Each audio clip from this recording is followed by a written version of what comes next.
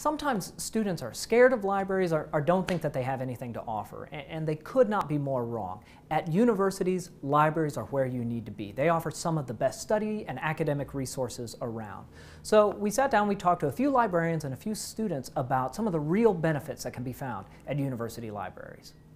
Many large universities have both research libraries and undergraduate libraries. When you go into an undergraduate library, you'll know that everything in there, from the resources to the people that can help you to the quiet or group spaces, are designed for you, undergraduate students. The library is not just books. We have a lot of computers that you can see here, um, and all kinds of technology that you can use in your coursework.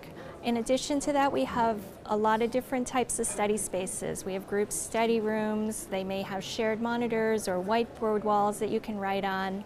Um, the libraries are a great place to meet up with friends or study alone. You can explore all the different types of spaces that are available to you. And in addition to that, we have access to all kinds of different resources, electronic books and e-journals and research databases that you just don't have access to elsewhere. So Google is a wonderful tool for undergraduates to use. However, Google does not offer the type of resources that um, a library portal or a library website would offer you. Most of this is due to the fact that when you go to a library homepage and search their databases, you're looking for, at information that's already been curated on your topic, for your topic, by experts in that field. This quarter, I took a biology physiology lab. It was very tough, the teacher was very strict, and we had a giant poster project due at the end of the quarter. For that poster project, we needed a big list of references, and they had to be reputable, they had to be relevant, and they had to be current. And when you're looking through an online search web browser like Google, like Google Scholar, you simply can't find resources that can be that relevant or that accessible. However, by using a library search, I was able to find all of the resources I needed, all of the citations I needed, and I didn't even have to leave my couch.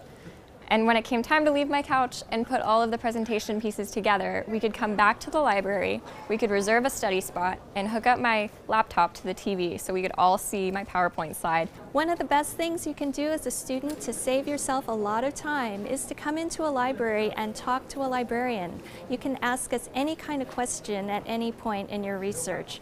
We can help you formulate a topic, which is one of the hardest things to do when you're doing research. We can also point you in the right direction to the, the best databases that have information on your topic.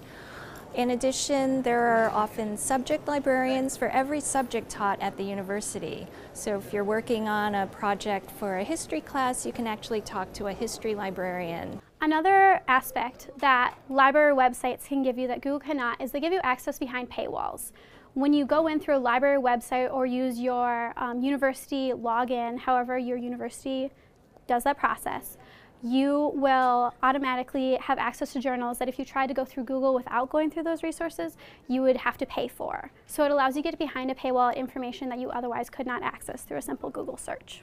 Whatever your experience with libraries in the past, undergraduate libraries will become your home, your home away from home.